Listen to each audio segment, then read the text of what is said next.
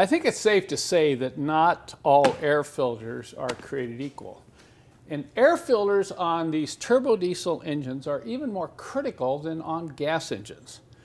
You want to make sure you have a filter that really flows so you get good air intake to the engine. You want to make sure you get maximum filtration because any contaminations, particularly in a diesel engine, will shorten engine life with excessive ring and cylinder wall wear. So I am not a fan. In fact, I detest aftermarket air filters. Number one, they don't fit right. And I've seen this over and over again.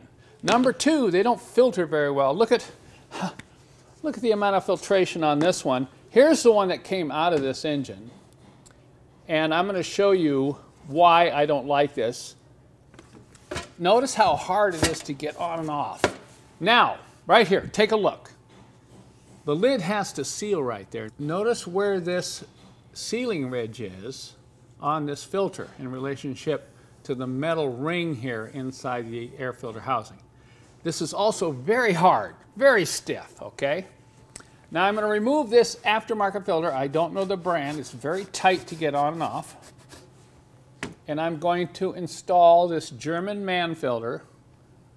Look at the amount of pleats in this filter, okay? Now as I drop this down, look how nice that fits. And look at how high this sits.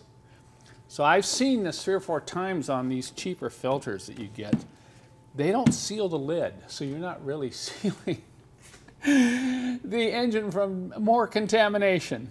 So I just want to encourage you, if you have one of these turbo diesels, don't cheap out on the air filters, okay?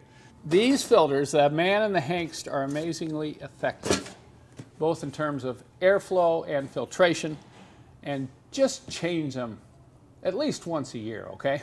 Because I, I see some of these, that's probably was in a 240D for five years. I don't know how long this one's been in there, but I don't like the way that one fits. You gotta remember, a plugged filter can also cause engine smoke. It usually won't produce that black puffs of smoke, but it will create smoke due to lack of air getting into the engine.